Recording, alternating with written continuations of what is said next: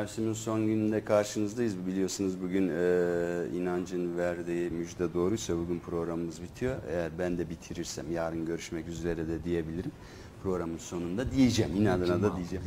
Bugün cuma hayırlı olsun. Cumanız mübarek olsun. Cumanız mübarek. E, Ramazan'ın ikinci günü de mübarek. Biliyorsunuz bu Azeri kardeşlerimiz Türk olsun demiyorlar. Bayram mübarek, cuma mübarek diyorlar. Biz de bizi dinleyenler varsa onlara bir selam göndererek biz de öyle diyelim. Cuma mübarek, bayram, e, oruç, Ramazan mübarek. Efendim e, Ramazan'ın ikinci günündeyiz. Dün kolay bir oruç tuttuk elhamdülillah. O kadar sıcağı, uzun güne falan. Biliyorsunuz iki gün sonra e, Haziran'ın 21'i gün dönümü ekinoks dönemi. E, dolayısıyla günün en uzun gündüzü, en kısa gecesini yaşayacağız. E, şimdi zaten e, Ankara'daki iftar vakti 8.30'a oturdu. Böyle bir hafta 10 gün 8.30'da kalacak. İftarımızı 8.30'da belki dün 29 gün. 8 gün mü? 8 8 gün gün 8 sonra geri düşecek. geri evet başlıyor. 30'dan yukarı çıkmıyor. 8.30'dan yukarı çıkmıyor. Efendim o, o noktada düğümlendik kaldık. Böyle birkaç zaman daha devam edeceğiz. Ee, Sinoplulara zor oluyor işte. Sinopluları mı? En uzun En uzun en uzun onların kim oluyor? Tabii, Ha. e, şeye, Olsun onlar orası serin ya o deniz denizin serinliği Tabii. Sinoplularınki bir şey değil. İskandinavlarda bu sene 22 saat. Artık İskandinavları boş ver de orada çalışan kardeşleri de Allah yardımcı olsun. Aslında o, o arkadaşlar bu yaz tatilinde buraya gelir. Oruçlarını burada e, e, akrabalarıyla falan tutarlarsa daha iyi 4 olur. saat 4 saat. Ha, 4 saat 4 saattir demeyelim biz yine ama yani burada memleket havasını koklamak e, önemli. Zira e, son zamanlarda mm, e, Ramazan'ın atmosferi farklı geliyor. Uhrevi ağırlığı var. Efendim memleketimizin inananı, inanmayanı herkes e, Ramazan'a e, saygılı, e, oruca saygılı, birbirine saygılı, birbirimizin ibadetine karıştığımız, görüştüğümüz yok diyesim geliyor ancak dün bir haber geldi, rahatsız oldum ben. Erzurum'da mevsimi açmış bizim e, arkadaşlar. İlk oruçsuzu darp etme e, operasyonunu başlatmışlar yanlış bilmiyorsam. Ya öyle diyelim e, ne olur artık yapmayın. Bir vakitler böyle yapılıyordu ediliyordu filan ama yani onu yapmayın boş verin. Şimdi kimse kimsenin için oruç tutmuyor. Kimse kendisi için de tutmuyor. Ee, Allah'ın rızasını kazanma peşinde. Şimdi ben oruç tutuyorum. Orada- Oradaki adam yiyor diye kalkıp onu darbeder, döver, iter, hatta hakaret eder, hatta kötü bakarsan yani orucuna da bir ucundan zarar vermiş olursun. Ee, eğer e, bir sıkıntın varsa tutma kardeşim. Yani kimse kimseyi e, bu memlekette Arabistan'da olsa neyse gittik gördük. Orada e, namaz polisi diye bir inzibatiye var efendim. Vakit gelince ellerinde değneklerle takır takır dükkanlara vura vura geziyorlar. Namaz salah salah salah kapatmazsan ceza var. İnsanların çoğunun da önünü per, orada kapılar yok. Genelde gündüzleri perde kullan. Perdeyi çekip arkada e, oturduğunda e, herhalde biliyordur rejim. Ancak rejim onun peşinde değil. Rejim bir gösteri peşinde. İşte e, namaz vakti Suudi Arabistan'da dükkanlar, bakkallar kapatılır. Böylesine dindar katı kural İslamiyetten taviz vermeyen bir anlayış diye pompalamak, lanse etmek, efendim, diğer Müslümanları büyülemek. E, Yani ve e, şimdi onlar da mm, e, bu o, şey benimle yasaklarına arama kimseyi, benimle arasına, müminin arasına kimseyi sokma. E, yani eli so zibatiye dahil. Arabistan bunu yapıyor da biz yapmayı Ay- yapmamalıyız. Ayetlere bakalım ya. Ya biz büyük bir medeniyetin Her gün- ayetlerle birlikte sahibiyiz. Her gün namazda ne diyorsunuz yani? Lekum dinikum veliyedin. Her namazda. E, Herkesin dini, Senin dinin sanadır, benim dinim banadır. Diyoruz da e, yani başkalarının dini dinsizliği de bizi ilgilendiriyor. Kötü olan, yanlış olan bu. Bundan vazgeçelim. İnşallah bu ilk ve son olsun. Erzurum, e, biz orada öğretmenlik yaptık. Erzurumları severiz. Erzurum iyi bir memlekettir. Hatta memleketimizin kök hücrelerinden biri olarak ben kabul ederim. E, o açıdan Erzurumlu kardeşleri sükunete davet ediyorum. Böyle şeylere e, yakışmıyor. Bizden onlara. haz etmeyenlere haklı çıkaracak malzemeler vermeyelim. Vermeyelim Allah aşkına. Dün e, hepinizi saygı sevgiyle selamlamayı unuttuk. Selamımız ve hayır duamız peş peşe üzerinize olsun. E, bugün biliyorsunuz e, salavat günü, cuma günü e, salavat getirmek hele bu Ramazan günü daha da katmerlerini güzelleşir. Ağzınızdan Allahümme salli ala seyyidina Muhammed sözü e, efendim cümlesi düştüğünde yere düşmüyor. Bir altın yahut da metalini bilmediğimiz bir e, tepsiye düşüyor. Bir melek anında Efendimiz'e götürüyor ve Yani diyor metal ki olmayan bir tepsi. metal olmayan nur metali diyelim biz. Nurdan bir e, şeyle tepsiyle kendisine sunuluyor ve diyor arkasından diyor ki o e, melek filan oğlu Feşmekan seni hatırlatı ve sana selam gönderdi. Buyurun diyor. İşte böyle bir hikayesi var. Buna iman ediyoruz, inanıyoruz. Onun için çok salavat Efendimiz'e selam, selam, selam gönderelim. Benim her e, sabah sizi selamladığımız gibi her aklımıza geldiğinde de biz Efendimiz'e bir selam yollarsak öteki dünyada hatırlananlardan oluruz. Zira çok selamınız giderse Efendimizin beyninde yer tutar o. Siz yarın karşısına vardığında gel falan oğlu feşmeken selamını aldım şimdi de kendin geldin der diyebilir. İnşallah bize de öyle densin istiyoruz. Bu manada salavat, salavatlarla birlikte dua, duayla birlikte de bizi de dahil ettiğiniz bir geniş cümle içine tüm ehl İslam'ı efendim e, inançla Ahmet Yozgat'ı da katarak e, bekliyoruz sizden. Bizim dualarımızda da sizin yeriniz var. Ramazanınız, Ramazanınız tekraren hayırlı uğurlu olsun. Konularımız dünkünün aynı biliyorsunuz. Dün çok yazmıştık. Bugün efendim son günün hani okullar tatil olacağı zaman son günlerde dersleri asıyorlar ya. Onun gibi bir şey. Dünkü konulara bakacağız. Yine bir bakalım. Koalisyon açıklamaları sürüyor. Firavunlar e, kalemleri kırdı. Mursi meselesi. Gül sahneye çıktı. Güney Amerika'da düğmeye basıldı. Esed'in suyu ısınıyor. Bununla ilgili haberler daha da gelişti. Uluslararası büyük oyunu fark edenler dün e, konuştu konu ve hoş geldin mübarek ay Ramazan. E, ona dün girdik, bugün de gireceğiz. E, girdik de zaten. Dedikten sonra bugün bir misafirimiz de olacak. Son programımızda bir vatandaşı efendim konuk edeceğim ben. E, ve ona e, programımızla ilgili düşüncelerini soracağız.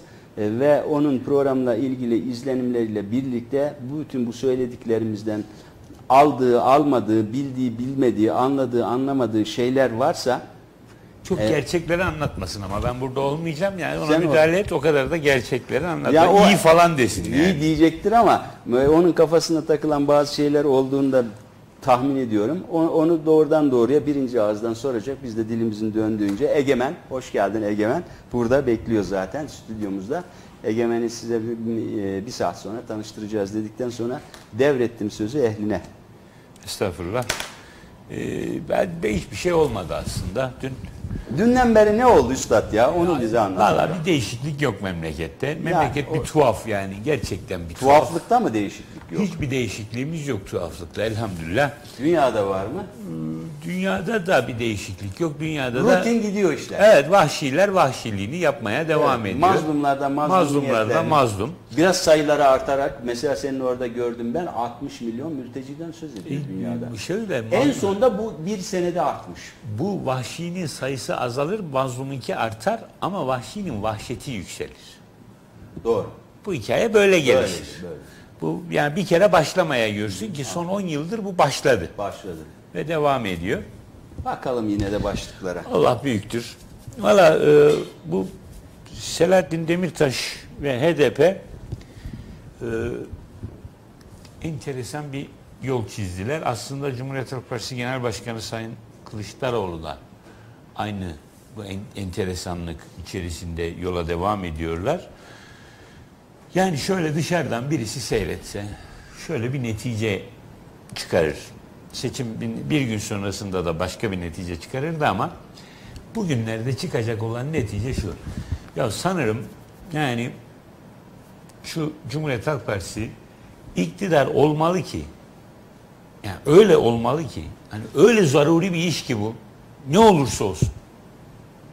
Tamam Kılıçdaroğlu'nu anlıyoruz. Onun böyle bir e, iktidar şehveti var tabiri caizse.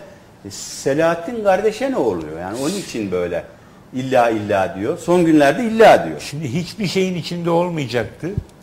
Tek başına muhalif olacaktı. Asla iktidarla yakından uzaktan münasebeti olmayacaktı. Emanet oyların kıymetini bilecekti.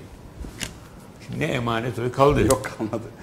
Ne iktidardan uzaklaşma kaldı. Kendisinin iktidar seçenekleri içerisinde hiçbir şekilde bir alternatif olmadığını beyan ettiği için Milliyetçi Hareket Partisi'ne hakaret etti. Yani zaten önemli değildi. Milli, Milliyetçi Hareket Partisi de bir duydu ki onu. Yani çok da ciddiye alıyor evet. Yani öyle canım, bir durum var. ciddiye alacak yani. Ya zaten Allah'a şükür almıyor yani. evet. Allah'a şükür almıyor. Ama yani oradan devam et de Bahçeli deyince arkadaş bu Demirel'i en iyi ta Allah rahmet eylesin. Ee, Sayın de merhum Demirel'i tarif eden en güzel veciz ve e, formülasyon a, sınırları içerisinde bir cümle hatta yarım cümle Demokrasi Demirel, darbe Demirel. arkadaş Dört bu kadar D'ydi. yani budur işte bu kadar bayıldım Hani iki tarafı işte bu böyle öl- yani o dört D'nin içinde iki D'si Demirel'e ait ama Tabii ama böyle ölçerseniz mesele düzgün çıkıyor. şimdi öyle bir oturdu ki Şimdi Onu tutup- sonra konuşuruz. Devam et. Böyle ben densizlik ettim. Estağfurullah canım, Selahattin. Kılıçdaroğlu üzerinden devam Şimdi ediyoruz. Protokol yazmaya hazırlandılar. Bir tanesi protokolü yazdı, memlekete sundu 14 madde. 14'lüler gibi bir şey o. Yani e, şimdi 14 tane maddeyi memlekete anlattınız. E, siz koalisyon protokolü mü hazırlıyorsunuz, hükümet programı mı, anlaştınız da Hatta anayasanın ilk dö- 14. maddesi. maddesi mi?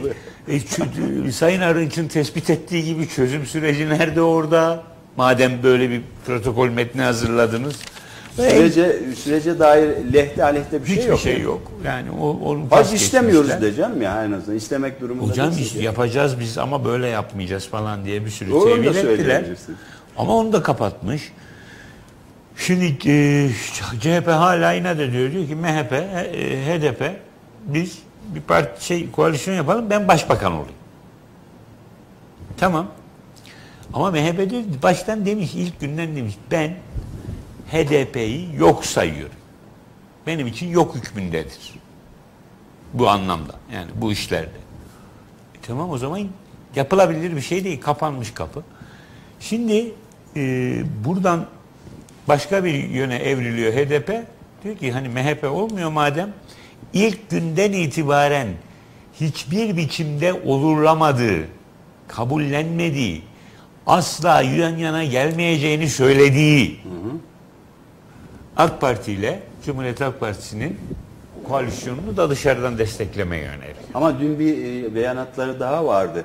Ee, CHP, MHP'ye dışarıdan destek veririm diyor galiba. Ben öyle anladım. Selahattin Demirtaş. Şimdi o o zaten vardı. Var mıydı o? Ama bunu Milliyetçi Hareket Partisi kapatınca bu konu üzerinde konuşmaya gerek kalmadı. O konu Yani üzerinde dışarıdan desteğe de mi kabul değil? Yok, aynen ifade şu. Dışarıdan, içeriden, sağdan, soldan, Ha, sağdan, yandan, yukarıdan, aşağıdan. yukarıdan, aşağıdan Hiçbir şekilde bulmacayı çözmem diyor. yan yana gelmem diye.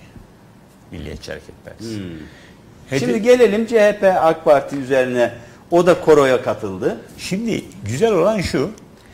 Hani e, emanet oylar vardı da sonra kayboldu ya o oylar. Onu e, inek yedi, inek e, Dağa kaçtı. dağa kaçtı filan. Su yani. içti. Evet. Balta kesti. Evet. Yani falan. dağa kaçtı. Yandı bitti Orada kül ne oldu. oldu bilmiyoruz. Yani dağa kaçtı yani. Netice itibariyle yandı bitti Yan, kül oldu. yandı bitti kül oldu. Şimdi onun gibi şöyle bir ifade hatırlıyorum ben Selahattin Demirtaş'ın ağzından. Önce hiçbir koalisyonun içinde olmamla başlayan cümle şuraya evrilmişti. Ee, koalisyonda bize görev düşerse Başlığımızı da iktidardan- getirelim lütfen. Koalisyon açıklamaları sürüyor. Görev 4 gün sonra verilecek. Şimdi 3 günü kaldı tabii. Evet. İktidardan kaçmayız.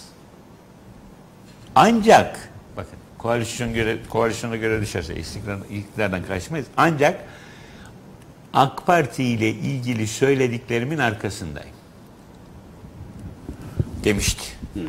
Ben de demiştim ki o gün bak bu söylediklerimin arkasındayım lafı da yine tevhile muhtaç. Sen şimdi iki gün sonra AK Parti ile de olur niye olmasın dersin. Ama burada söylediğinden ben de bütün Türkiye'de AK Parti ile yan yana yürümem cümleni hatırlıyoruz. Onun arkasında duruyorsun sen. Yani AK Parti'yi istediğim gibi eleştiririm ama hükümetine de destek veririm diyemezsin. Böyle anlanmaz bu cümle diye söylemiştim ama şimdi geldik oraya. Bunu da yedik. Ne oldu? Şimdi AK Parti CHP koalisyonuna da ölçülerimiz, ilkelerimiz göz önünde tutulursa, göz ardı edilmezse destek verirsin. İlkelerinin göz ardı edilmemesi konusu zaten e, her türlü koalisyonla ilgili destek verip vermeme şartı. Bu her parti için böyle. Öyle. Yani benim bütün ilkelerimden ben al sana sınırsız destek, şeysiz destek diyen kimse olur mu? Olmaz tabii. Koalisyonun ruhuna aykırı. E şimdi geldik böyle bir çözüme. HDP'nin bir şekilde destekçi içinde falan olacağı bir proje üzerinde çalışıyoruz. AK Parti CHP koalisyonu kurulsa senin dışarıdan desteğine ihtiyaç mı var kardeşim? Adamlar e, anayasayı değiştirecek sayıya ulaşıyorlar. Yani neme gerek senin oyun ya? Ama yine bir 390 ucundan tutalım mı diyorlar? Ne diyorlar? Tabii tabii. E, Nasıl olsa kuruluyor bir ucundan tutalım gerektiğinde dikte edecek bir Hadise bundan şey- ibaret. 390'la geleceksin. 390 milletvekiline oradan 80 milletvekili hömkürecek misin? Aldığın 80 milletvekili de zaten tamamen seçim sisteminin Azizliği azizliği şey- bir de bayağı bir emanet oy var içinde. Emin olun bayağı var yani. ya bir kere yarısı. Yani şimdi hadi onu geçtim de e, tam emanet anlamında söylüyorum. Yani fikir yönünden hiçbir e, şeyi- olmayan bağı insanların dört kampı falan haline yani. gelmiş tabii. Dört falan. Yani e, oradan 80 milletvekiliyle bu işe nasıl dahil ederim diyor. Ama bu tarza gelmeden önceki delikanlı tavrına bakıyoruz. Hiç işi falan olmaz. Muhalef, aslan gibi muhalefet yapacak. Aslında akıllıcası da odur. Çünkü HDP tarzı bir partinin şu anda iktidar olması onu bitirir. Şimdi bu durumda soralım. Niye oradan buraya geldi sevgili İnanç? Emir geliyor. Emiri verenler niye o emiri verme e, noktasına savruldular, evrildiler? Şöyle çünkü e, şimdi bir e, hareket alanı bulmadıkları takdirde orada muhalefet ederek onların haklarının dillendirilmesi, seslendirilmesi dağda kimsenin işine yaramıyor. Orada sadece konuşuyorsun diyor bana faydan yok. Ama icra makamında bulunursan, irade koyabilecek durumda olursan ben burada rahat hareket ederim. Bana hareket alanı açarsın. Pazarlık eli- elimizde bir pazarlık gücü olur. Çeyrek oranda muhatap kabul edilmiş. Muhatap oldu. kabul edilirim ama şu anda muhalefet ettiğin sürece kimsenin muhatabı değilim. Peki şimdi AK Parti e, ve CHP hükümet kurarken Selahattin'e diyecekler mi? Ya sen de bir ucundan tut bir destek ver bize böyle bir ihtiyaç zaten yok. Matematik olarak, geometrik olarak var mı? Yani memleketin bütününü kapsayan, daha geniş alanı kapsayan bir hükümet ihtiyacından yola çıkarak. Yok. Ona da yok. Yani hiçbir biçimde yok. O halde bu bu bir kendi kendine gelin güvey olma e, ameliyesi gibi mi duruyor? Yani birincisi gelin güvey olmaktan çok sözü söylemiş olmak. Ha söz söyleyelim. Yani hükümet kurulduğunda zaten desteğimizi onlar istemese de veriyoruz. Tabii. Ha. Milliyetçi Hareket Partisi'nin de dışarıda olduğu bir tercihi öne almak. Böylece böylece iki partinin e, fiilen iktidarda, üç partinin efendim e, teorik olarak iktidarda bir partinin de dışarı atıldığı, fırlatıldığı bir ortam mı oluştu? oluşturmak gayreti var. Bu partiyle de e, kendisini muadil saydıracak bu şekilde. Yani sistemin işleyişine yardımcı olmuş. Tabii. 80'e 80 milletvekili var. Evet, buna rağmen e, 80 milletvekilinin ağırlığını koymamış. Efendim ben dışarıdan efendi efendi desteğimi de veririm. Türkiye'yi kaosa sürüklememiş falan. Bu tip bir sürü şey var. Şimdi Ama burada şunu sorayım pekala.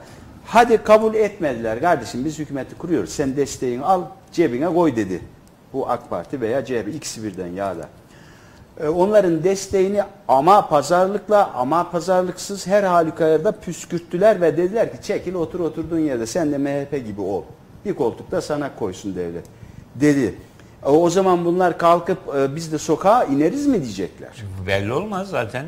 Yani derler mi bilmiyorum ama komik olur aslında ama zaten komik olma konusunda bir sıkıntıları yok. Yani sokağa inme konusunda da bir sıkıntıları yok. Biliyorsunuz e, yağmur yağmıyor deyip sokağa çıkıyorlar veya yağmur yağıyor diye sokağa çıkıyorlar. İşte burada şunu da sorayım ben. Bu sokağa çıkma noktasında bir tavsama dönemine girmişiz gibi geliyor bana. Bağlı, e, Dağlıca e, üstünde hiç öyle denmiyor yani. Ee, Yani o dışarıdan saldırılar şeklinde yani sokak sivil Kürt gençlerinin filan sokağına sokaktaki faaliyetlerinden söz ediyorum. Zira şu anda onlar mm, devletle daha uyumlu, daha yan yana durarak güneydeki e, efendim bu dün anlattığımız Akdeniz'e doğru uzanan e, Kürt kamasını sessizce Şu anda sakin bir, sakin oluşturma öyle çabası niyet- içine mi Öyle bir niyetleri var şu anda ama şu ana kadarki direnişleri sadece 11 gün sürdü biliyorsunuz. Şey 10 gün sürdü. Ha dayanamıyorlar, sabırsızlar. Tabii canım 8-9 Haziran değil mi o Diyarbakır'daki Evet. Hüdaparlı kardeşin katledilmesi ve akabinden ölen 3-4 kişi, 4 kişi de. E, 9 Haziran daha 9 gün olmuş.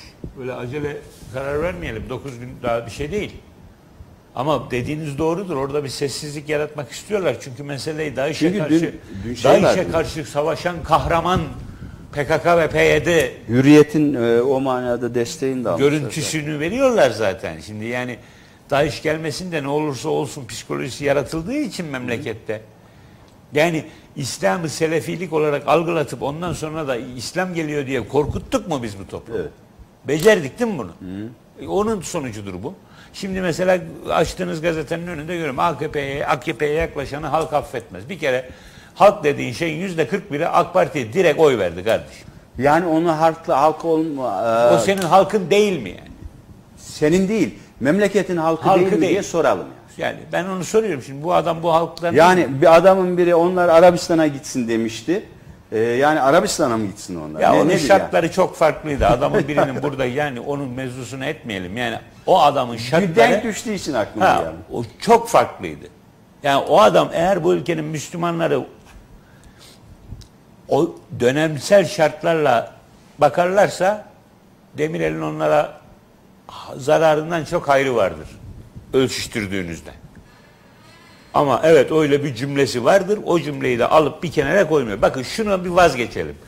Türkiye'nin İslamcıları, komünistleri ve profesyonel kemalistleri bazı konularda inanılmaz bir biçimde bir araya gelir.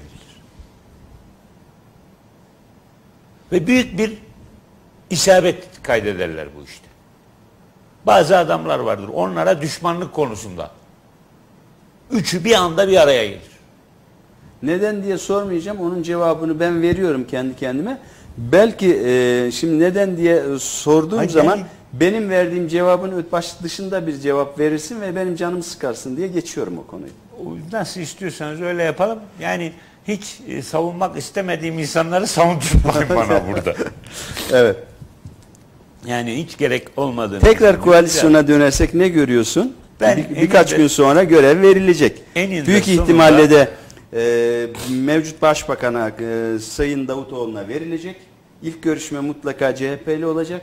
MHP görüşmesi var. Arkasından da HDP. Bu e, üç görüşmenin en e, ele avuca gelir dişe dokunuru hangi partiyle yapılacak? Ben Böyle bir sıranın şöyle olacağını düşünüyorum. Cumhuriyet Halk, e, AK Parti, Cumhuriyet Halk Partisi, AK Parti, HDP. MHP en sona mı bırakılacak? Çünkü e, bunun bahanesi de hazır. İki tarafında milletvekili sayısı eşittir. H alfabede M'den önce gelir. Ha, alfabetik olarak o, o- olabilir. Bahanesi de hazırdır. Ha, bahanesi de hazır. Peki Bu şey- şekilde de hani Devlet Bahçeli'nin talep ettiği şey olacak. Devlet baba da zaten öyle diyor. Ya dolaşın en sona bize gelin diyor. Yani, Yani bu aradaki- seçenekler tüketilecek, Milliyetçi Hareket Partisi'ne gidilecek, Türkiye bir kaosun içine düşüyor denecek. Türkiye'nin kaosa düşmemesiyle ilgili olarak taşın eline altın taşın altına elini sokacak insan. Bakın şimdi O zaman şöyle bir e, manşette yahut haberde geçiyor bu gazetelerde. E, AK Parti ile MHP gizli koalisyon görüşmelerini başlattı diye. var bayağı bir gazetede. var. Yani önce eğer bu görüşmeler doğruysa, bu görüşmelerle bir yere varılacağı hususunda da bir fikirlerde, bazı fikirlerde oluşmuşsa AK Parti şunu mu yapacak? Bu o, CHP ve HDP'yi bir aradan çıkartayım. Biraz da onlarla sert konuşayım, ağır konuşayım. Türkiye kaosa sürükleniyor'yu göstermeli. Göstereyim mi diyor. Tabii. Yani Milliyetçi Hareket Partisi de bunun olmasını bekler. Niye bekler? Yani Türkiye kaosa gitmez de rol mü yapılıyor? Hayır canım gider. Gide gide. Kaosun içindeyiz zaten canım. Sıçraması Yani yapıyor. yuvarlanıyoruz. Yardan aşağı inebiliriz. Bir e, ara verelim. Verelim. Buna kaldığımız yerden devam edelim. Bir iki cümle daha ekleyeceğim çünkü. Tamam. Müsaade buyurursanız. Estağfurullah. Teşekkür ediyorum. Özellikle estağfurullah aldım ki yani bir şey olmasın. O zaman a, konunun devamını görüşmeyi arada yapalım. Programda Tamam, yarın- yapmayalım seyirciler Yarın karşısında. görüşmek üzere diyor. Kapatıyormuşum şimdi. Görüşürüz. İkinci bölüme ikinci tekrar bölümde. karşınızdayız.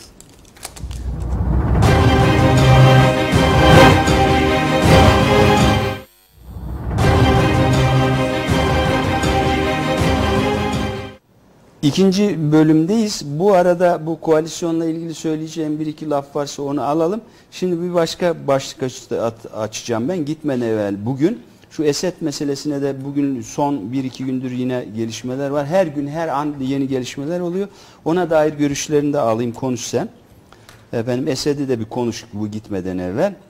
Tamam. Ee, vakit bulabilirsem ben Güney Amerika ile ilgili böyle bir para, uzun bir paragraflık konuşma yapacağım. Güney Amerika ile ilgili. Orayı o zaman sana bırakırım o müsaade yani şey. O orada bir 5 kalır. dakika bırakırsan bana Beşten yeter. fazla zamanımız kalır çünkü. Geliyor başımız zaten gelmiş. Esed'in suyu e, ısınıyor. O suyu Koalisyonla ilgili önce son şeyleri koalisyonla ilgili birkaç cümle söylemek istiyorum. Şimdi e, bir aşırı ısrarla Milliyetçi Hareket Partisi'nin AK Parti ile koalisyon yapmasını engellemenin yolu aranıyor. Şimdi burada diyor ki biraz evvel işaret ettiğin gazetenin üst başlığı yani e, bu ana başlığın üstündeki spot başlık sermaye devreye girdi. AKP'li koalisyon seçeneği kuvvetle. Sermaye devreye girdi ne demek? Oradan bir gir istersen. Şimdi e, bir ruh hastalığı demek bu. Şimdi sermaye zaten devreden ne zaman çıktı? Tabii gazetenin de böyle bir sermaye e, eskiden kalan geleneksel şimdi de devam ettiriyorlar anlaşılan. Bir sermaye düşmanlığı da var. Canım sermayeye ben de düşmanım ne alakası var? Ben değilim ama. Hayır siz değilsiniz de Tamam, ben ben tamam, sermayeye o, de tamam, düşmanım. o. An- Onu söylemeye çalışmıyorum. Şimdi şu sermayeye ben de düşmanım ama sermaye yoktu da yani bizimkilerin sermayeyle bir işi yok da ne, Ben, ne, benzin vardı da içtik gibi, ne gibi bir alakası şey yani. var yani e, çok özür dilerim de TÜSİAD'ın ilk defa görüştüğü kişiler AK Parti, CHP, MHP, HDP dörtlüsü mü? Daha önce Abdullah Öcalan'ın avukatları TÜSİAD'la ne görüştü o zaman? Bundan dört sene önce. Kimi kandırıyorsunuz? Buradaki sermaye düşmanlığı, sermaye niye bizde yok düşmanlığı? Seninki de öyle zaten. Benimki de öyle canım. Ben sen başka niye düşman olayım yani? Çok zengin olsan zaten düşman E olmayacağını açıkladın daha evvel. Ha, niye düşman? Bunu daha Ha, önce benim söyledim sermayem ben. olsa da ben sermaye dostuyum olmaz. Şimdi Aynen. yok dostuyum. Niye söyleyeyim ben? Yani niye düşman olayım? Tabii. Dağıtabilirsem aferin, dağıtamazsam hesabını veririm. Yani Evet. Sermaye ha- hakkındaki görüşleri de böyle, Böyle, arkadaşlar. bu kadar. Ha, bu kadar. Biraz komünistçe bir e, Yani ben- ya, olsun nasıl bu nasıl denirse ona. Evet. Şimdi e, Milliyetçi Hareket Partisi bu seçimin en sıkıntılı partisi olarak çıktı seçimden. Galiba. Ya şimdi bir tarafta üçlü koalisyona evet dese varlık sebebini inkar edecek. HDP ile koalisyonun bir biçimde efendim işte kimler kimlerle koalisyon yapmadı da bilmem ne de falan filan diye bir karşı duruş var. Bu arada da e, Türkiye Büyük Millet Meclisi'nde siyaset yapan Türkiye Büyük Millet Meclisi'nde milletvekili olan grubu bulunan parti diyor ki bizimle Türkiye Cumhuriyeti Devleti arasında tahkim edilmiş bir ateşkes oluşmalı hemen. Nerenin meclisinden konuşuyorsun abi sen? Nerede vekilsin? Siz kimseniz git oranın meclisinden konuş. Buradan duyulmuyor. Bu adamla mı MHP'nin ittifak yapmasını bekliyor bu? Ne bileyim MHP'liler bu- bilir. Sen, sen, bu- sen bilebilirsin ben bilmiyorum. Onun için susuyor ve dinliyorum seni. Dur bakalım işin sonu nereye varacak. Eninde sonunda bunu da bütün suçlamalara, hakaretlere, kendi içindeki bir sürü muhalifin biz bu adamlar gitsin diye bu kadar uğraştık demesine vesairesine vesairesine vesaire. Bu kadar uğraştıysanız bu adamları göndermek mi istiyorsunuz? Hiçbir mahsur yok AK Parti gitsin. O zaman Milliyetçi Hareket Partisi, Cumhuriyet Halk Partisi falan tek başına iktidar olacak. Ya da ikisi bir araya geldiğinde iktidar olabilecek çoğunluğa ulaştırılsın sonra Milliyetçi Hareket Partisi'ne ya da AK Parti ile e, koalisyon yapacak partiye laf söyleme hakkı oluşsun. Doğru. Matematik burada buna müsaade etmiyor. AK Parti'ye top AK Parti'de onu oynatacak o çocuk oynayacak. Oynatacaksınız. Sizin topunuz yok. O çocuk oynayacak abiciğim. Yolu yok. Kötü oynuyor ama. Fark etmez. Topun sahibi çünkü. Tapın sahibi. O zaman gideceksiniz kendinize top Yok, alacaksınız. e. Vermiyorlar. Ve yok. dükkan Vermiyorlar. top yok. top olsa dükkan senin Yani top bir tane top var o da o çocukta. Oynatacaksın abi. Ya bu AK Parti bu top konusunda arkadaş çok e, cimri davranıyor. Ya illa benim olacak top. Ya bundan önce Ya, ya bir bırak da biraz da onlar Ya buna şükür şimdi hiç değilse onunla top oynama hakkın var. Bundan önce adam top alıp tek başına oynuyordu ya. Tek başına oyun oluyor değil mi? Duvara vurup gelecek. Duvara vur. ya oynatmayacağım dediği zaman gider duvara vurur. Hmm, bu alır. Yani top metaforu hakikaten siyasete anlatmak için çok uygun düştü. Yani şimdi bel- belki de bizi dinleyen pek çok arkadaş ha şimdi mesela ya böyle desene kardeşim diyor ya. Şimdi anladık diyor. Yani aslında herkes biliyor ne söylediğini. Emin olun bu halkın hepsi her şeyin farkında. Yani ama Çoluk çocuk diyorum canım mutlaka. Çocuklar anlamakta zorlanıyor Belki senin evet. jargonunu. Ha abi toptan konuşsana. Yani baba ana diyor ya eşekten konuşsanız da filan Evet, diyor. evet. O hesap yani toptan evet konuş evet kardeşim. bu, bu daha kolay anlaşılabilir. yani toptan ama- konuş her şeyi. Ya açtım zamanı sana. Toptan Zaten- konuşmak sana kaldı. Zaten ben söyleyeceğimi Sayın Demirtaş'a söyledim. Yani bu meclisin, şey bu milletin meclisinde, bu ülkenin meclisinde bu ülkeyle ateşkes talep etmek abesle iştigaldir. Bu ülkenin meclisinden bu ülkeyle Ama ateşkes onlar talep açısından ediyorsun. Abesle iştigal, abesle iştigal değildir bu üstad. O tabii onun problemi. Yani e, abesle iştigal de sanırım Sayın Demirel'in lafıydı ama Evet, binaenaleyh onundur. ama Netekim ya. Güzel bir laf ya. Ab- Abesle iştigal. Netekim şeyin. O Kenan paşanın, evet. Kenan Paşa, Paşa Paşa diye seviyoruz biz biliyorsun. Ama Koalisyonla ilgili söyleyeceklerim söyleyeceğim bittiyse- son cümle eninde sonunda Milliyetçi Hareket Partisi ile AK Parti bu iktidar koalisyonunu oluştururlarsa memleket için Oruç, oruç, oruç, oruçtururlar mı, oruçturamazlar. bence oluşturabilirler. Cumhuriyet Halk Partisi AK Parti koalisyonunu destekleyen o gazetenin söylediği gibi aslına bakarsanız esas uluslararası sermayedir. Oradaki kilit AK Parti değil, Cumhuriyet Halk Partisi'dir. Doğru, dün açıklamıştı zaten. Geldiler uzmanlar. Devasa otellerin tepe noktalarına yerleştiler. Orada böyle post nişin sahibi, post sahibi Tabii. nişinler gibi Şimdi oturuyorlar. AK Parti Milliyetçi Hareket Partisi'ni istemeyip AK Parti Cumhuriyet Halk Partisi'ni isterseniz bu iki koalisyon önerisinin ortak kümeleri AK Parti olduğuna göre dışarıda kalan iki partiden birisi tercih sebebi olmaz mı? Esas tercih sebebi. Olur. Yani tercih sebebi e, ko- ekonomik daha sermayeden kastınız. Sermayenin tercih sebebi AK Parti mi olur bu denklemde Cumhuriyet Halk Partisi mi olur? Talep edilen bölüm AK Parti CHP. Edilmeyen AK Parti MHP ise sermayenin asıl talep ettiği CHP'dir. CHP'dir. Evet. Geçelim Esed e, kardeşe. O, o ne yapıyor ya bugünlerde? Suyu ısınır da yani Esed e, bir türlü girmiyor abi o suya. Yıkanmaktan Yani bu hoşlan. 6. yıldır falan. Bu adam pis. kere. bu kadar pis ya. pis bu adam. 6 yıldır bu adamın suyu Kokuyor zaten. Kokusu buralara kadar. Suyu mütemadiyen ısınıyor, herif girmiyor. Girmiyor ya. Ya gir de bir çim be baba. Adamın çimesi yok. şey bu Vallahi. hani e, efsaneleşmiş bir hikayedir. 14. Louis hayatında iki kere yıkanmış. Biri vaftiz olurken biri de dereye düşmüş diye. Bu da Onunla birlikte gibi. bir de rahip, rahibe terazaları var onların. 48 yıl çinmemiş. 48 yıl sonra ona azizlik e, şeyi veriyorlar, beratı veriyorlar çinmediği için. Yani 48 yıl dediği 48 yaşında ilk ve son e, çinme hali vaftiz suyuyla olmuş. Ha. Onu koruduğu için aziz. Maş, maşallah, maşallah. Maşallah. Bu da onun gibi işte. Suyu ısınıyor, ısınıyor, o suya girmiyor. Bu- Girmiyor. Aslında Şimdi- böyle birinin arkadan varıp ittirip girmesi, gi- sokması lazım. Aslına dedi. bakarsanız galiba yavaş yavaş itip sokacaklar ama bizim dediğimiz hani Esat gitmeli cümlesiyle şu an gidecek olan Esat'ın Esat gidiyor cümlesinin arasında uçurum var. Yani Onu, onu şimdi Amerika ne diyor? Dün açıklama yaptı bu konuda.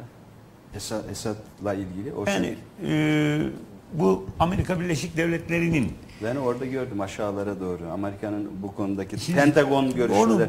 şeyi Geçen var. günlerde Amerikan e, Genelkurmay Başkanı İsrail'deydi. güç kaybettiğini söylüyor. Yarın bir gün gider diyorlar. Şimdi e, o Genelkurmay sonra Başkanı İsrail'de bunu tartıştık diyor. Tabii. O gittikten sonra neler yaparız'a falan bakıyorlar. Nerede tartıştı? Kiminle tartıştı? İsrail'le tartıştık diyor. İsrail'le Açıkça söylüyor onu zaten. Değil mi? Yani burada saklı gizli bir şey Yok yok demiyor. Şimdi- Onun e, beyanatını verdi zaten. Ziyaretin sonucunu açıkladı. Genelkurmay Başkanı Pentagon'la. Bunu bizimle konuşup Esad gidecek deseydi başka bir şeydi. İsrail'le konuşup Esad gidiyor deyince çok başka bir şey. Hangisi gerçeğe daha yakın? Bu daha yakın. Bu ha bu daha yakın. evet. Şimdi evet Esad şimdi gidiyordur. Ama Bir haber daha var orada. O habere de bize e, o habere PYD ile ilgili olan haberi Yok mi yani e, istiyorsunuz? e, Esed geri çekilmedi. Savunmaya geçti Esed. Tamam o cümle evet bir de savunmaya geçti diyor. Ha, gazetelerde de gördüm Evet. PYD'nin de e, Suriye'nin kuzeyinde demografiyi değiştirme gayretleri var. Şimdi e, bir grup Kürt vatandaş, Suriyeli Kürt vatandaş Tel Abyad'a gitti. Onları aldı içeri. Sonra Araplar e, Ve yüz- Türkmenler 100-150 kadar Arap gitmek istedi. Türkmenler falan gitmek istemedi yok zaten. gitmek istemiyordu. Arapları ve Türkmenleri aldı. 100-150 kadar Arap e, gitmek istedi. Dün e, ve sınır kapısı kapalıydı. Kapalı. Sonra bazı e, Araplarla o gitmek isteyen 150 kişi haricindeki geniş Arap kalabalıklarla konuşulduğunda Tel Arap kentidir. Kürtler orada işgalcidir. Bakın böyle cümlelerle. Siz memleketinize İsrail yerleşse kabul eder misiniz? diye konuşan Araplar var burada ve gitmek falan istemiyorlar. E, Araplar da gitmek istemiyorlar. Orada onlar otursun biz burada mı oturalım diyorlar. Onu Gittik- da anlamadım. Gittikleri takdirde öleceklerini biliyorlar. Yani adamlar oraya silahlı güçleriyle oturmuşlar. Ya bir zafer şeridi. destanı yazılıyor demiştim ya. Yani şeridi almışlar. Şimdi bu şeritte e, dün de söyledik onu bir daha hatırlatalım. Oradan bir giriş yapalım Türkiye'nin tavrını anlamak için. Sınırımızı Hatay'dan başlatın ve Şırnak'a doğru uzatın. Şimdi e, Şırnak'tan efendim bir Kürt bölgesi var. Bir boşluk vardı. Tel Abyad yani dün alınan bir bir daha Kürt e, adacığı var. E, ondan sonra bir boşluk var. Bir daha var. Hatay sınırına yapışık. Şimdi bu baştaki 1 ve 2 numaralı adacıkları birleştirdiler. Bu Tel Abyad'la ora bir şerit haline geldi. Kürt şeridi. Şimdi bir şerit daha lazım. Şimdi araya bir şerit daha lazım. Yani efendim Kobani ile e, Afrin arasına yani Hatay sınırıyla e, Reyhanlı yani. Reyhanlı'da şöyle bir boşluk alan var. Koridor. Türkiye ile açık. Bu bölgede efendim e, Esadçılar da yok. Muhalifler var. Efendim Fetih ordusu var ve Türkiye var. Bununla birlikte Kobani'de de efendim mezarımız var. Orada da tanklarımız da konuşlanmış durumda. Şimdi burada dün de e, zirve yapıldı, güvenlik zirvesi bu konu görüşüldü. Ya bir, bir süre sonra şunu da söyleyelim, IŞİD bu bölgelerden de geri geriye çekiliyor. IŞİD Suriye'nin şu anda yarısından fazlasını ele geçirmiş durumda. Epey büyük bir alan IŞİD'in. Efendim bu Suriye'nin ortasından bir çizgi çektiğiniz zaman doğu tarafı IŞİD'e ait, batı tarafında da bir koridor yine IŞİD'e ait.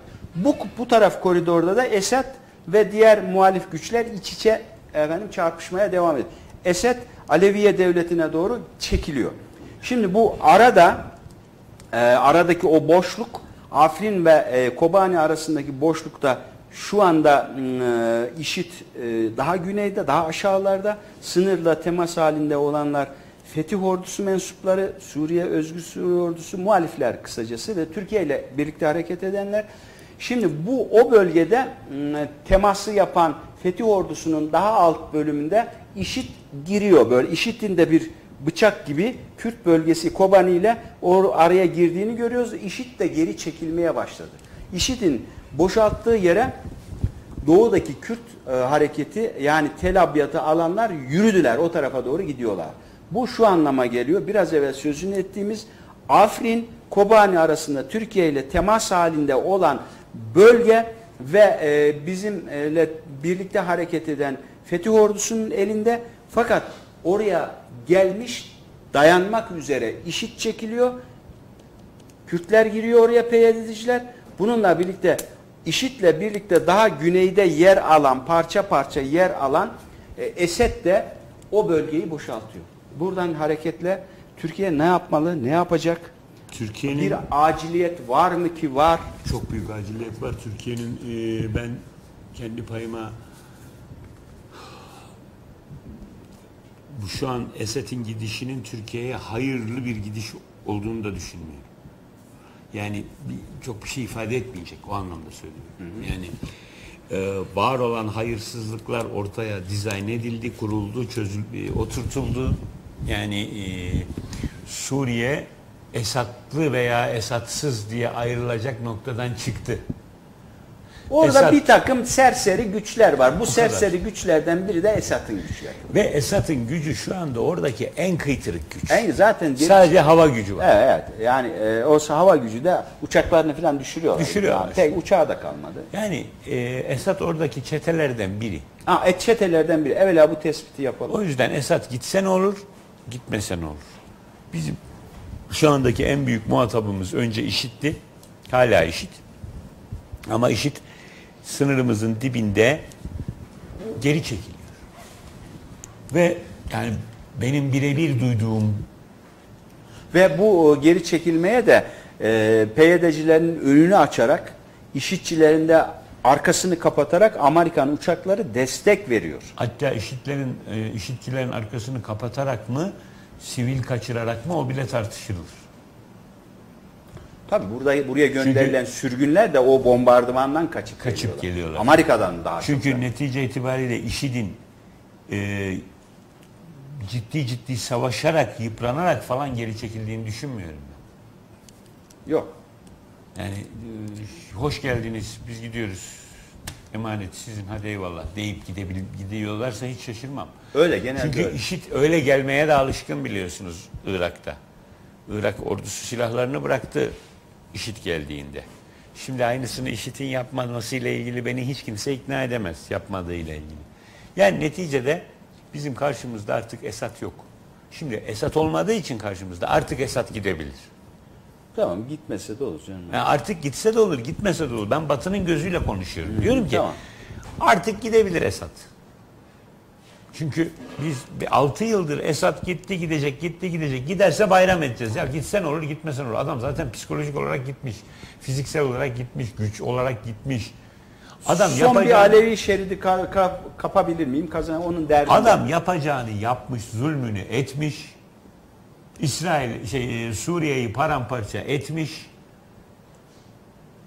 minareleri vurmuş da diye ve devam. ve köpek balıklarına parçalayıp bırakmış. Şimdi gitsen olur gitmez. Gitse de bir gitmese de bir. Bu arada IŞİD'in de Suriye'de pasifleştirildiği yani şöyle yapıyorlar. Irak'taki IŞİD, e, Suriye'deki IŞİD efendim e, IŞİD'in nerede olmamasını istiyorlarsa karşı tarafta IŞİD'e zafer bahşediyorlar. Evet. Bunun üzerine IŞİD'in diğer bölgeden zafer bölgesine doğru çekilmesini sağlıyorlar. O bölge ele geçirilebilecek bir seviyeye, hacme, ağırlığa, sıklete düşüyor. O bölgeyi ele geçiren PYD'ciler de kolaylıkla giriyorlar. Yoksa PYD güçlerinin IŞİD güçleri karşısında esamesinin okunacağını zannetmiyorum. Mümkün değil. Çektiler Irak'a. Irak'ta bir iki şey verdiler onlara zafer. Onlar hurra deyip oraya yüklendiler. Yani takır takır ordularla mücadele eden bir yapıdan bahsediyoruz. Ya bir şeyden, işit diye bir şeyden. Tankları var, uçakları var bu adamın. Heronları var havadan. Yani öyle O ordu ve de zaten bunu Neçirvan Barzani aylarca önce söyledi. Bizden çok güçlüler, bizden çok güçlüler ve bir devlet gibi organize hareket ediyorlar ve o güçle diyor. Avustralya'da diyor ki Suriye'de kimyasal silah ele geçirdiler. Olabilir. Avustralya. Hı hı, olabilir. Yani- Zira e, bugünlerde flor gazı filan e, efendim e, çok kullanılıyor. Esed kullanılıyormuş gibi görünüyorsa da kimin kullandığı noktasında yine de kafalar karışık. Yani Ve en azından depolamışlarsa bile o bile korkutucu olur. ya zaten e, bunu kullanmakla ilgili ahlaki bir sıkıntıları olan insanlar değil Belki ahlaki sıkıntı Esad'da vardır da bunlarda asla. Bunlar da hiç olmaz. Radikalizm ahlakı son derece e, iyi diş eden bir şey biliyorsunuz. Evet mutlaka hocam. Bir de yani devlet hali bir hukuka da dahil ediyor sizi. ne Mecburen. kadar mecburen. Altına imza attığım bir şeyin her de hiç değilse psikolojik ağırlığı var. Tabii. Şimdi siz şu e, Güney Amerika ile ilgili bir Güney Amerika'da söyleyin, evet, ne Güney bilmiyorum. Amerika'da e, düğmeye basıldı diye başlığımız gelecek şimdi. Onun altını doldurmak üzere e, konuşuyoruz. Biliyorsunuz biz burada bir e, teori ortaya atmıştık. Kıta devletleri kuruluyor. Kıta devletlerinin hazırlık yüzyılındayız. Asya kıta devleti Ingo Amerika'nın kıta devleti Asya kıta devleti İngilizlerin kurmak üzere çalıştığı e, bir alan. Benim Efendim, sadece iki dakikam varmış. İki dakika toparlarız. Ee, efendim Amerika malum Avrupa Birliği Cermenlerin, Almanların kıta devleti ortada iki tane kıta kalıyor. Birinci biri Güney Amerika, ikincisi de Afrika. Şimdi bu Afrika'da ve Güney Amerika'da e, oradaki tarihi geçmişe ve bugün yaşayan insanlara, idareye bakarsanız Avrupa'nın hem Fransa hem de İspanya üstünden hakim olması lazım. Yani kıta Avrupa'sının e, vassal kıtaları olması lazım. Tarih böyle istiyor. E, zira e, Afrika'da en çok e, Fransızların sömürgesi var. Güney Amerika'da da tamamen İspanyol ve Portekiz sömürgesi alanı orası. E, bu anlamda e, burada tercih sebebi Afrika'dan yana Afrika'yı ele geçiren orada devasa efendim maden kaynaklarını, bakir alanları ele geçirecek. Dünyanın merkezinde bir kıtanın yeniden kıta hacminde sahibi olacak. E, bu bu konuda e, kıta Avrupası yani Almanlar ve Fransızlar orası zaten bizim nasıl olsa bizim diyorlardı. Buna İngiltere'de ses çıkartmıyordu. Ancak bu Arap Baharı'ndan önce Avrupa kıtası İngilizlerin bir arka planının arka ajandasının olduğunu fark ettiler. Apar topar İngiltere girmeden orada Arap Baharı'nı Fransa başlattı. Fransa'nın asla yapmayacağı, yaptır, Fransa'ya da yaptırılmayacak bir hareketti, ameliyeydi. Bunu Almanlar oraya Fransa'yı soktular ve el koydular, koymak istediler. Bu kıta bizim diye. Oradan dolanıp Akdeniz'den Suriye'ye çıkartılacaktı. Ancak Amerika buna e, karşı çıktı. Amerika Mısır darbesiyle e, Avrupalıların bu Afrika kıtası planını Libya'da kilitledi. Arkasından da bütün Afrika'nın efendim kara açlarını Afrika'nın alt ucundan tutup bir halı çırpar gibi Avrupa'ya doğru silkti ve dedi ki ahanda varın bu adamlarla uğraşın. El koydum Afrika'ya diyor. El koyduğu bir başka bölge biz de bunda e, söz pay sahibiyiz. Kullanıldık diyemiyorum. Farklı tabii. Bizim e, bulunduğumuz kamp o taraf artık. Biz biz de Somali üzerinden efendim Amerikan kampı adına Afrika'nın bir ucundan girdirildik, girdik. E, şu anda Afrika'yı e, Charlie Hebdo baskınıyla savaş gün yüzüne çıktı. Yani Amerikan-Almanya savaşı gün yüzüne çıktı. Amerikan-Almanya savaşını Avrupalılar, Almanyalılar Ukrayna'da kaybetti. Türkiye seçimleriyle Türkiye'de kazandı. Bu Almanya'nın son zaferi. Bu zaferi de hezimete çevirmek bizim milletimize ve AK Parti'ye düşüyor. E, Zira kampımız belli artık. Bu noktada Almanya diyor ki e, a, madem diyor e, Afrika'yı elimizden aldınız o halde apar topar biz de gidiyoruz Güney Amerika'ya el koyuyoruz diyor. Ve a, Güney, Güney Amerika baharında Latin baharında başlattılar böylece. İkinci bölümde bu şekilde tamamlamış olduk.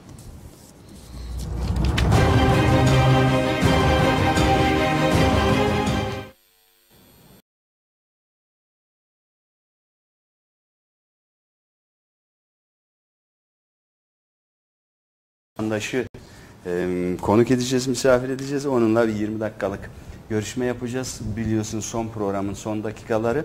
E, programımızı baştan beri seyreden e, bir kardeşimizle e, bu programın son bölümlerini e, doldurmuş olacağız.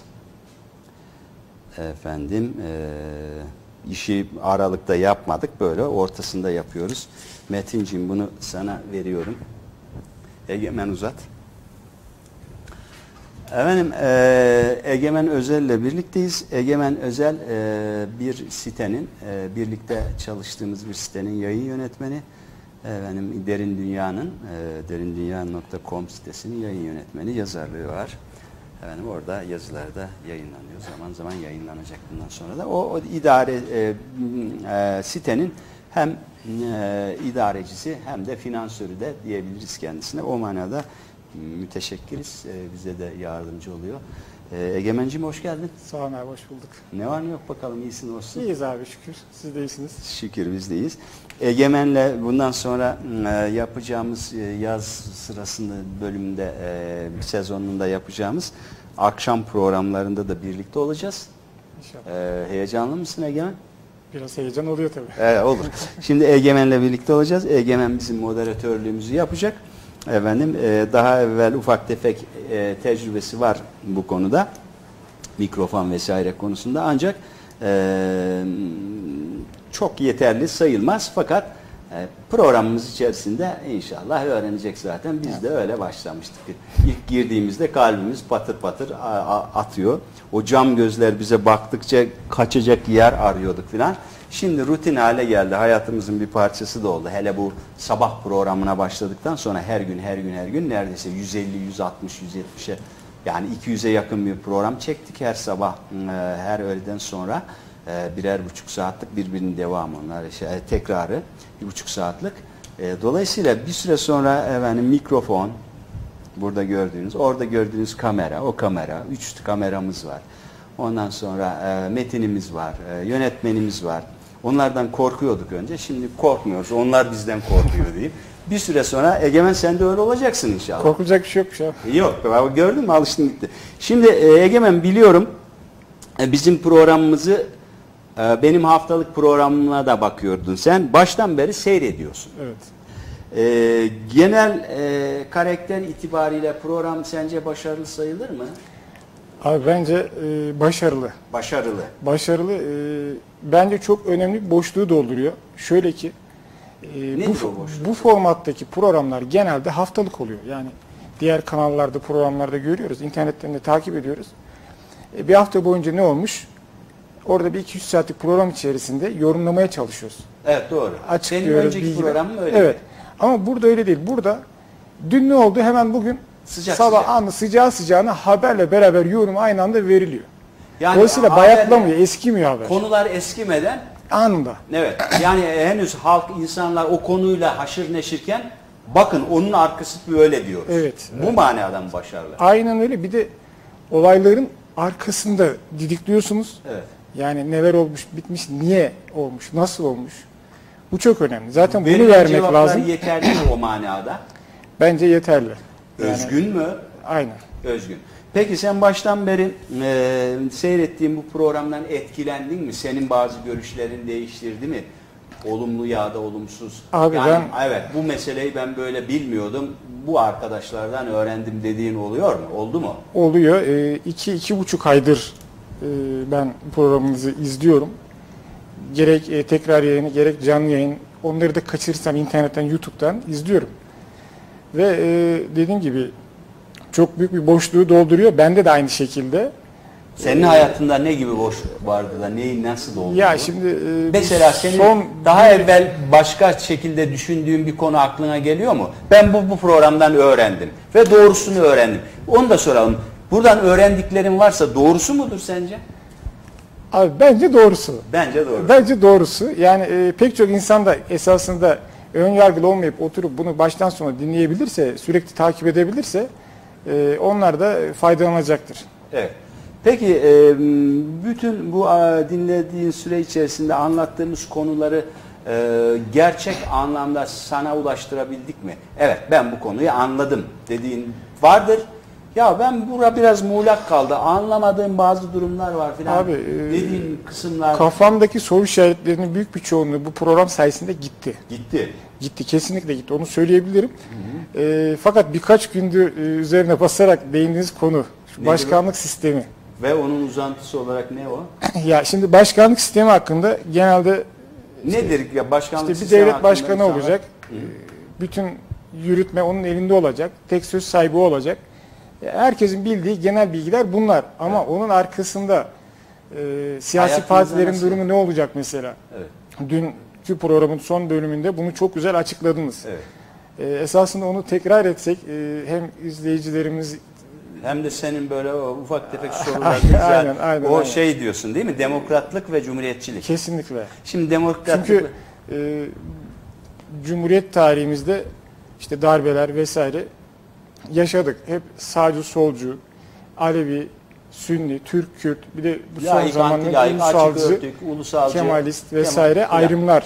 Hep bunlara tabi olduk ve bunlar bizim gelişmemizi ya da zihnimizdeki siyasi gelişmeleri hep engelledi. Hep bizi birbirimize düşürdü. Evet.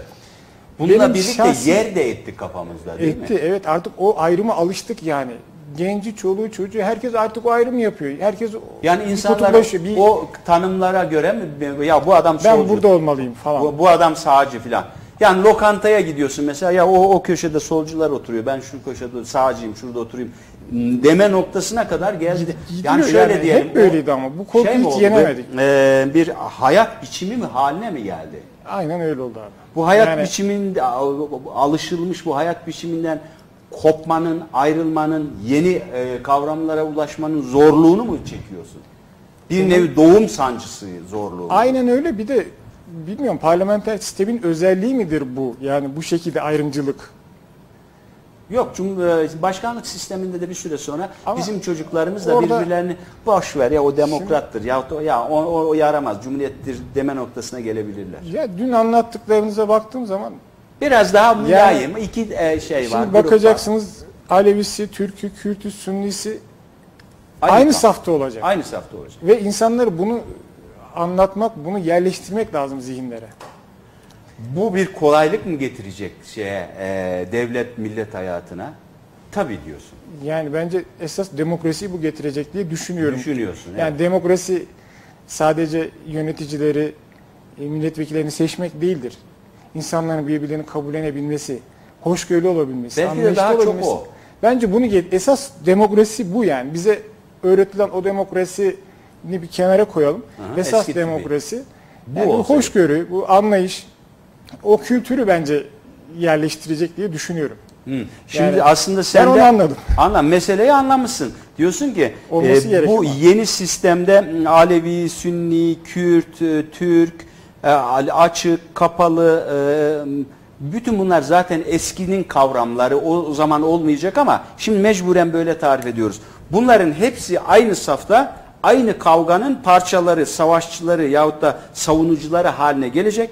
Dolayısıyla bir arada olmuş olmaktan Alevi ile Sünni yan yana cumhuriyetçilere karşı Ya da ya da karşı taraf. Evet. Yani e, en önemlisi de iki tarafta da aynı türler olacak değil mi?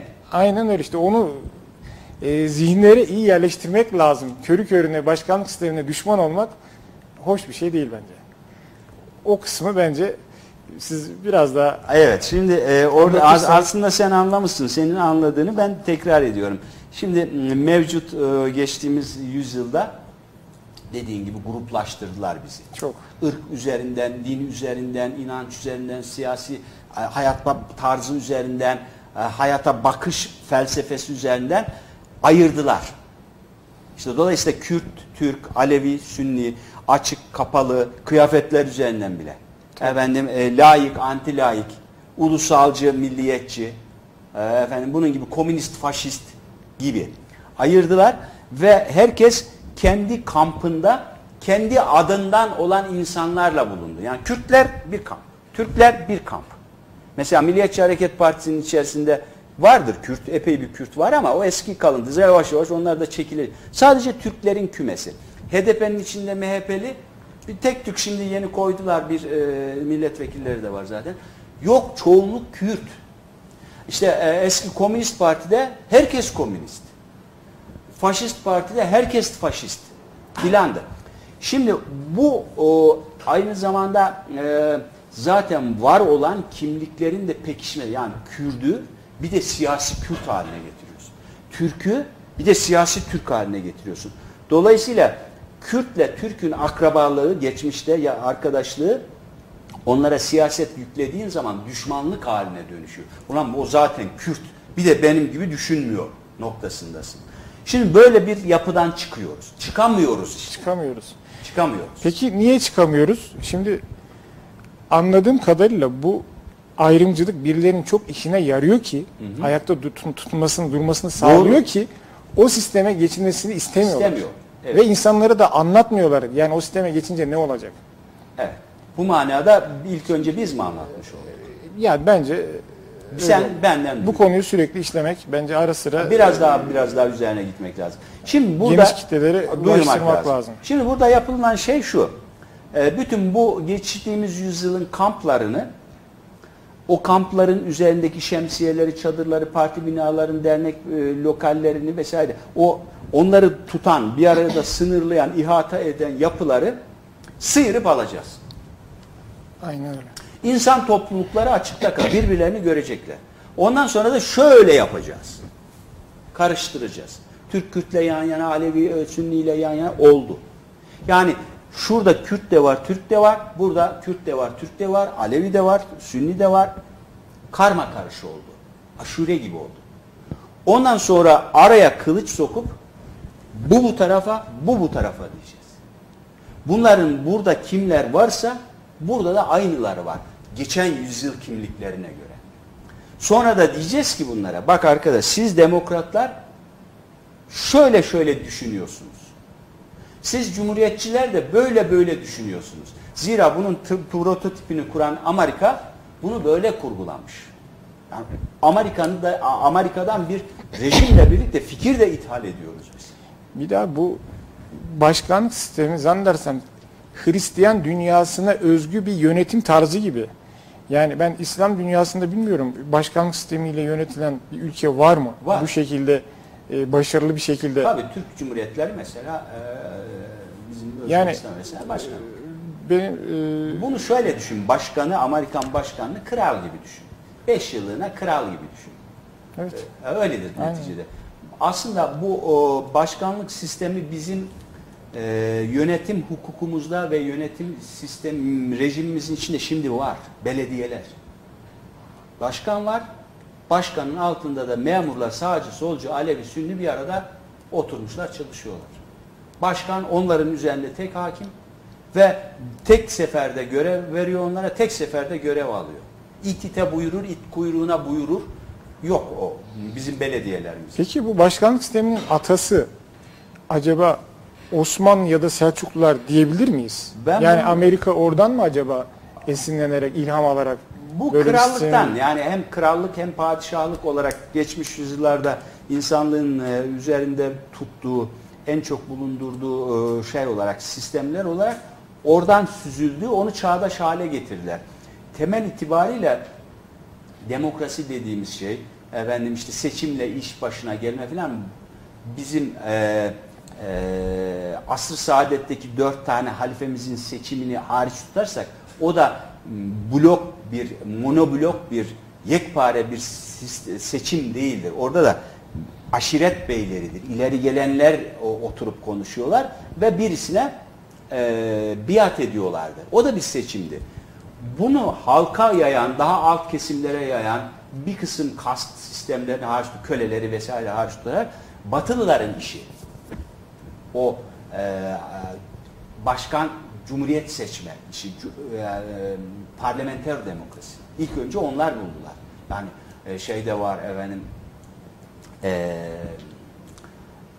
Yunan'da var, Roma'da var. Evet. Daha sonra Magna Carta'yla e, şeyde var, İngiltere'de var.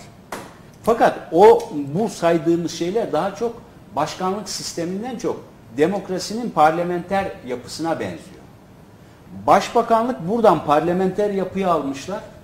Parlamenter yapıdan demokrasiyi almışlar. Onun başına kral koymuşlar şeklinde e, tarif edilebilir Amerikan başkanlığını. E, bununla birlikte bu e, e, gerçek anlamda başkanlığın sahibi Türkler. Yani diğer e, Orta Asyalı Türkler, Orta Asya. diğer krallar ve padişahların altında sadrazamın oluşuyla birlikte iki başlılık zaten oluşuyor. Biz de iki başlılığı yani Cumhurbaşkanı Başbakanlık e, anlayışını İran'dan öğrendik. Kral, sultan ve nizamül mülk.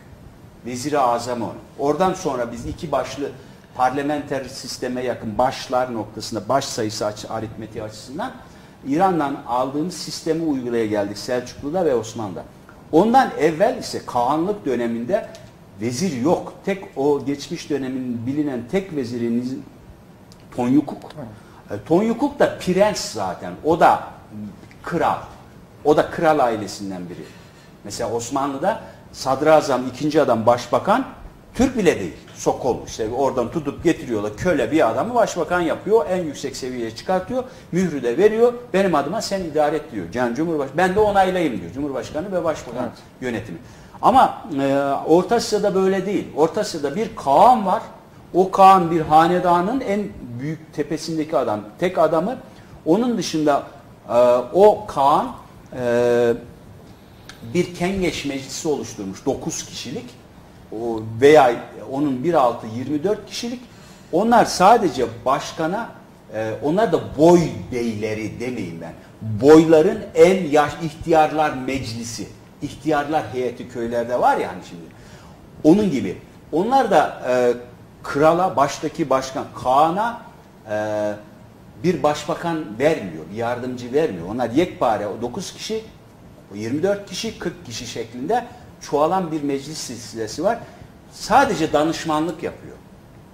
Başkan onlara danışıyor. Ya Çin'e şey yapacağım arkadaşlar, sefer yapacağım. Ne diyorsunuz? Oradaki ilk dokuzlar grubu diyor ki Çin'e m, sefer yapmayı biz tasvip etmiyoruz.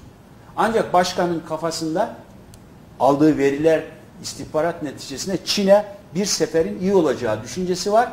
Onlardan bu görüşü alıyor. O görüş mugayir olmasına rağmen tamam anladım diyor. Yarın da Çin'e sefere çıkıyor. Başkan işte bu. Evet. Bir ikinci adam yok. Sonra biz bu e, sistemle en basiti bu. Sistemin en basit hali. Bir başkan ve tebası. Bir kral, bir kağan ve tebası. Bu biz oradan kalkıp da İran'a gelince İranlılar bize vezirliği öğrettiler. Bak kral, sultan, e, bizde Kaan hep kılıcıyla en önde çarpışan adam ve hep ayakta. Oturduğu çadır da askerinin oturduğu çadıra denk. Biraz daha çapı büyük. Çok misafiri geldi. Yediği aynı, içtiği aynı, giydiği aynı, oturduğu aynı. Bir uyduruk kıl çadır. Ama biz ne zaman ki İran'a geldik sarayları falan gördük. Dediler ki İranlar bize bak bu sistemin kurucusu olan padişah şurada oturacak sarayda. Harem kuracak. Keyif edecek. Şarap içecek, içmeyecek, her neyse yiyecek. Devleti kim idare edecek? Ona bir ikinci adam lazım. O da şu alt sarayda otursun. O senin adına idare etsin. Böylece iki başlılık doğdu. O iki başlılığın devamı bizde parlamenter sistem olarak yansıdı.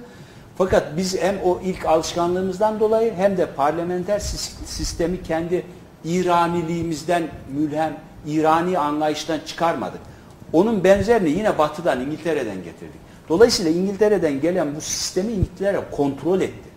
Ve bu sistem bizim aleyhimize işleye işleye geldi, işleye işleye de gidiyor. Biz yüzyılı kay- Osmanlı'yı kaybettik.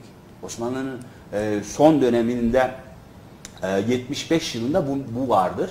Tanzimat'la birlikte 75 yılda Osmanlı'nın hezimetler dönemidir. Batışı, çöküşü.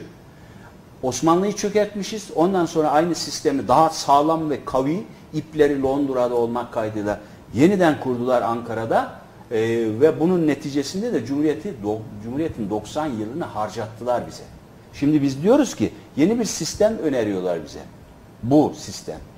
Bu e, başkanlık sistemini kabul. Ancak siz kurmayacaksınız. Erdoğan'ın dediği kavgası bu. Erdoğan dese ki evet başkanlık sistemini kabul ancak siz ne diyorsanız öyle olacak. Sistemin sahibi.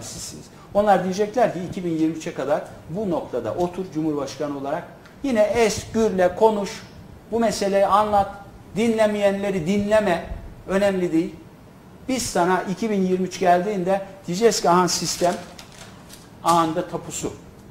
Ondan sonra sistemi kur, kur ve git. Biz devam ettiririz. Şimdi bunda burada bir şey gördü.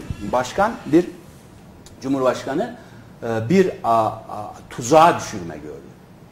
Dedi ki biz madem başkanlık sistemine geçeceğiz, geçmeliyiz de. Onlar kurmadan, onların planına uygun kurma işlemini beklemeden kendimiz- 8 sene önceye çekelim ve biz kendimiz kuralım. Türk tipi olsun. Kontrol bizde olsun. Kavga buradan çıkıyor. Ya biz istesek de istemesek de o zaman 2023'te Olacak.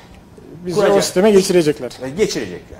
Hatta şöyle e, mesela affına sığınarak söylüyorum. Cumhurbaşkanının kafasına saraydan tuğla düşse, kiremit dese ki e, işte üstelik bu kiremit, kiremit düşmeden evvel başkanlık sistemini savunuyor olsa pat rüzgar attı tuğla kafaya düştü. Ondan sonra şunu diyecek arkadaşlar bu başkanlık sisteminden daha kötü bir sistem yok geçmiyorum anasını satayım. Dediği anda söz Kılıçdaroğlu'na geçecek. O diyecek ki hayır başkanlık sistemi istiyoruz. Ta bu kadar. İşte buraya geri dönüyoruz. Bu, bu tamam. Bizim şu anda halkımızın ve diğer partilerin anlamadığı mesele senin bana sorduğun mesele. Tamam da abi. İyi de aga. Kurduk sistemi. iki bölüm olduk. İşte ondan sonrası. Ondan sonra soru o adam orada. diyor ki ben diyor orada diyor solcu mu olacağım sağcı mı olacağım? Ben solcuyum şimdi abi ben nasıl olacağım diyor. Diyoruz ki anlatamıyoruz ama. Orada sağcılık solculuk yok. Abi hemşerim. Almıyor nasıl olmaz? Onu gönderiyorsun kandırıyorsun ağzına bant çekiyorsun. Bu sefer ülkücü geliyor. İyi de aga ben nerede olacağım? İşte o ayrımı nasıl yapacağız? O ayrımı İnsanlar nasıl yapacak? O Yani ayrımı insanlar nasıl konumlanacak? Şöyle konumlanacak. Ee, biz iki tane kavram attık ortaya. Yani bu kavram biri e, demokrat olmak, biri de e, cumhuriyetçi olmak attık. Şimdi her ö- ülkücüsü, İslamcısı, sağcısı duruyor yerlerinde. Ve biz burada bir tarif yapıyoruz. Bu demokratlar var ya, daha özgürlükçü, efendim e, daha a, devrimci, daha yenilikçi, daha uluslararası a, arenada açık, efendim e, daha e, e, ilişkilerde pragmatist davranan, faydasını gören. Mesela Demokrat Başkan diyecek ki ya bu Ermenistan'la e, dost olmak bana kazandırır mı, kaybettirir mi? Kazandırır. O zaman uzat elini. Cumhuriyetçi böyle demeyecek ama. O daha devletçi, daha muhafazakar, daha kökeler, kökte, köke bağlı Ee, ve o bu sorunun cevabını şöyle verecek. Ya bu e, şeyle Ermenistan'la e, dost olmak e, iyi mi kötü mü? Bana ne kazandırır demiyor. İyi mi kötü mü? Dur bakayım kitaba bakayım bir. Kitap tarih kitabı. Kitap kötü diyor. Arkadaş bu benim için kötü. Ben seninle dost olmuyorum. Onun e- uzattığı el havada kalıyor.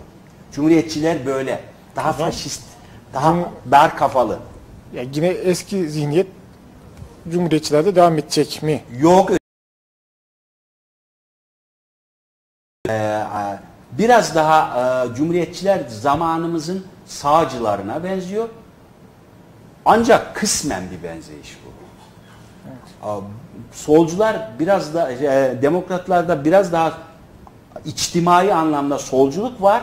Yani halkla ilişkili olmak, onlarla aynı sofraya oturmak, onlarla yemek yemek, onlara ya sosyal devlet, efendim emekçiden yana olmak, çalışanı kayırmak o demokratlar içerisinde. Bu şimdi solcuların anlayışı gibi görünüyorsa da gerçek ve doğru olan bu. Ancak şu konuda da anlaşamıyor mesela. Solcular şimdi e, laikçi, illa başörtüsü, illa rejim falan diyor ya. Sağcılar şimdi diyor ki hayır öyle değil abi ya biraz daha seküler olalım diyor ya. Bu da değişmiş o bu orada. Cumhuriyetçiler biraz daha laikçi olmuş. Karşı taraf seküler olmuş. Dolayısıyla şey içerisinde bu iki grubu ortadan sağcılar solcular diye ayıramıyoruz. Ayırıyoruz. Bugünün sağcılığından bir parçayı alıp karşı demokratlara veriyoruz. Onu mesela seküler anlayış. Onun laikçiliğini alıp buraya veriyoruz.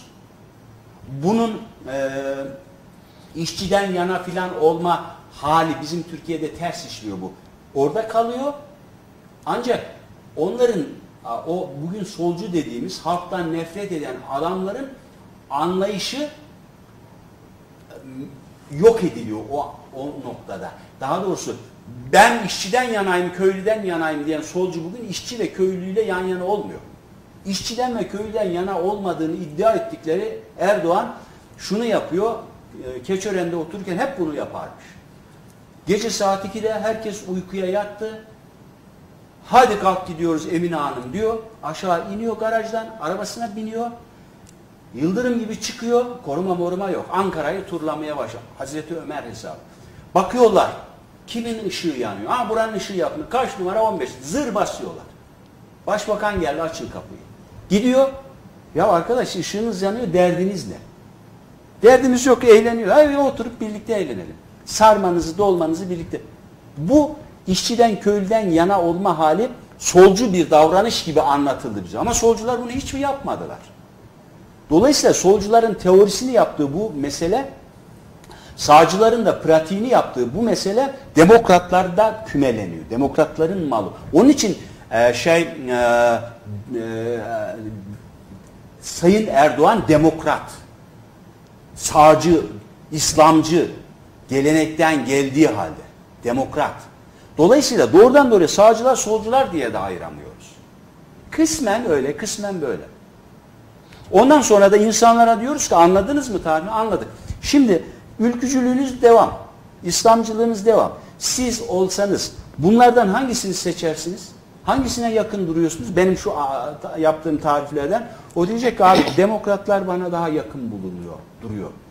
Ülkücü bir adam diyecek ki ben demokratlara daha yakın. Sen demokrat ol. Hemen yanındaki ülkücüye soruyor. Ya sen?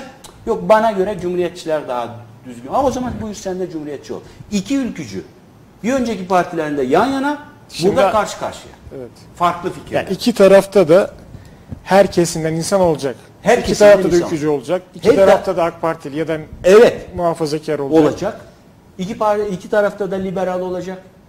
Yani diyoruz ki partiler ortalarından yayı- yarılacak. Peki partiler ne olacak? Yani Bu partiler geçen yüzyıla aitti. O içi boşalınca boş kovanlar kalacak, boş binalar kalacak. Ya kilip, Kapatıp kilip vurup gidecekler yahut da eski bir fikrin devamı e, devamından yana olan 3-5 adamın vakfı ya da derneği şeklinde devam edecek.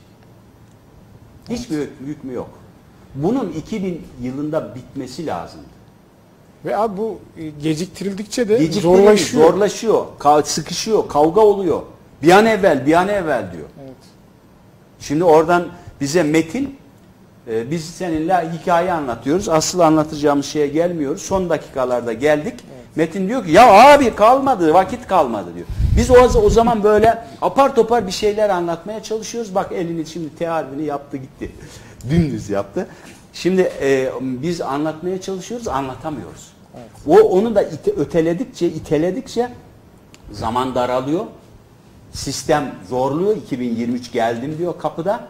Ve biz apar topar birbirimize düşüyor. Yanlış yapıyoruz. Onun için son duraktayız, son dönemeçteyiz. Bizi dinleyenlere de selam olsun. Metin bitirdi, biz de bitireceğiz. Hoş geldin, sefalar getirdin. Güle güle. Ee, hayır seninle Hoş geldin, konuşacağım. güle güle. Ee, Şimdi seninle inşallah önümüzdeki haftadan itibaren e, bir programda da birlikte olacağız. Derin Ee, dünya. Derin Dünya e, programında. Derin Dünya'da neleri konuşacağız diye bir soru sorsam sana. Ahmet abi e, derin dünyada derindunya.com sitesini e, tavsiye ederim. Evet. Girsinler orada videolar var, makaleler var. Ya aynı konular. Tabii o derindunya.com sitesi ticari bir site olmadığı için biz adını söylemekte Evet. mahsur görmüyoruz. Evet, yani o, bence oraya bir göz atmaları lazım. Onları konuşacağız. Orada iki şey görüyoruz biz. Biri tarih konuları, birisi Evet. metafizik konular. Efendim Biraz- mesela illuminati, masonlar, efendim Evet, küresel örgütler vesaire. vesaire. Ee, biz seninle hangisini konuşacağız? Bu ikinci kısmı değil mi? İkinci Küresel- kısım evet. küresel örgütler, Vesaire. Illuminati vesaire. Vesaire. O zaman ilginç olacak konular. ya e, çok ilgi çekici videolar var, ilgi çekici konular var. Evet. Ee, Programımızda herkes- vereceğimiz videolar. Hemen hemen herkes bunları duyuyor, okuyor, biliyor ama dediğim gibi derinlemesine bilgimiz yok. Ya o eksikliği orada kapatacağız. İnşallah. Yani İyi hayırlı uğurlu olsun. inşallah. Sağ ol. Ha, pekala. Ee, efendim bugün de burada tamamlıyoruz. Aynı zamanda mevsimi de bitirmiş oluyoruz. Ee, sevgili Egemen'in de söylediği gibi yaz boyunca onunla birlikte Derin Dünya programında birlikte olacağız ve e, fizik ötesi konuları konuşacağız. Önümüzdeki hafta başlar. Tam gününü veremiyorum. Cuma akşamı olabilir, cumartesi akşamı olabilir. Onu genel yayın yönetmenimizle konuşacağız. E, ondan sonra e, ona göre takip edersiniz. E, VTR'ler, e, tanıtım programları, fragmanlar gelir gider e, ekranınıza. Oradan takip edin. Bizi seyreden arkadaşlarla daha farklı konularda biraz daha ilginçleştirerek birlikte olacağız inşallah. E, cumanız mübarek olsun. Yarın birlikte olmamayı dileyerek gördüğünüz gibi inanç da kaçtı gitti. Onun için yanlışı yapmayın. Ben yanlış yapayım da o düzeltsin diyordum. Artık ee, yanlışını düzelten de ben olayım. Yarından itibaren yokuz. Sizden helallik diliyoruz. Hakkınızı helal edin. 200 saat, e, 250 saate kadar e, evinize misafir olduk, konuştuk, bir sürü şey anlattık, bizi dinlediniz. Hakikaten helallik diliyoruz. Sizden ölüm var, kalım var. Olmasa bile birbirimize hakkımızı helal etmekte yarar var. Bizim hakkımız size helal olsun. Yaptığımız yanlışları asla kabul etmeyin. Çöp kutusuna yırtın atın. Doğrularımızda kendi münderecatınızda korumaya devam edin. Aklınıza mukayyet olun. Efendim iradenizi kiraya vermeyin. Ee, Ahmet Yozgat'ın söyledikleri doğru diye beni takip etmeyin. Öteki dünyada e, elim iki yakanızda olur. Doğruyu aramaya devam edin. Benim ağzımdan çıkan şeyi doğru sanarsınız. Yanlış olabilir. Ee, filan yanlış adamın söylediği de doğru olabilir. Kendime bile kefil değilim. Zira ben de bilmiyorum. Her şeyin doğrusunu Yüce Rahman biliyor. Onun için biz programın sonunda Allahu Alem diye bitiriyoruz. Allah bilir anlamına gelecek şekilde saygılar, hürmetler ve eee, güzel yaz tatilleri diliyorum sizlere. İyi tatiller.